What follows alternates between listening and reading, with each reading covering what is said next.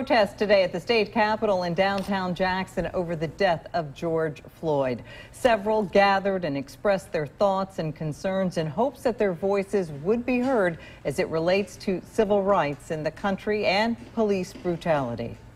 No black power here.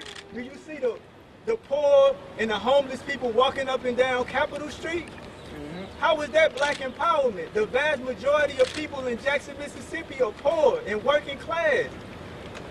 But they don't they don't directly govern their own affairs, and that's why they stay in this position. The Democratic Party, the Republican Party, all of the parties.